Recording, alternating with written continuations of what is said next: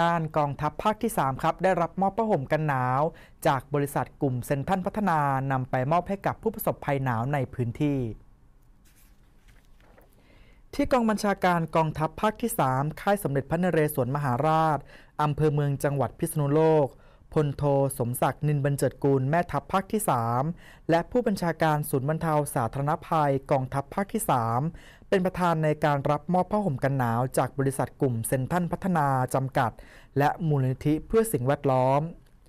คุณสมกมลเวชชาชีวะ ผู้อำนวยการอาวุโสฝ่ายภาพลักษณ์องค์กร บริษัทกลุ่มเซนทัน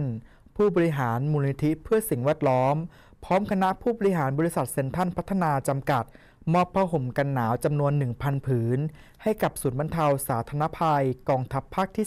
3 เพื่อไปมอบให้กับประชาชนที่ประสบภัยหนาวในพื้นที่กองทัพภาคที่ 3 เพื่อนำไปมอบให้กับประชาชนในพื้นที่11จังหวัดภาคเหนือ ที่กองทัพภาคที่ 3 รับผิดชอบ พร้อมกันนี้ครับ คณะผู้บริหารบริษัทเซ็นทรัลพัฒนาจำกัดมหาชน ได้เดินทางเข้าพื้นที่นำผ้าห่มกันหนาว ไปมอบให้กับประชาชนร่วมกับกองกำลังนเรศวร ไปมอบผ้าห่มกันหนาวให้กับประชาชน